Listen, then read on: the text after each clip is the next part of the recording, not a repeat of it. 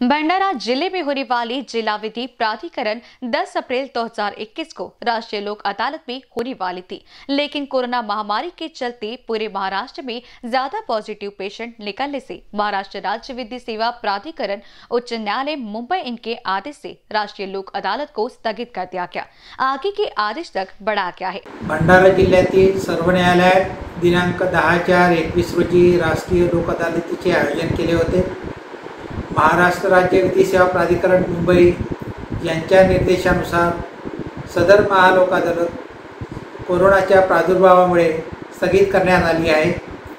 ज्यांची प्रकरणे सदर लोक अदालतीत ठेवली होती अशा सर्व वकील बंधूंनी तसेच पक्षकारांनी याची नोंद घ्यावी व त्यांनी त्यांची पुढील तारीख नेटवरून काढावी अशी सर्व वकील मंडळींना व पक्षकारांना माझी विनंती आहे. थँक्यू बीसीएन न्यूज़ के लिए भंडारा से सुरेंद्र चिंधालोरी की रिपोर्ट।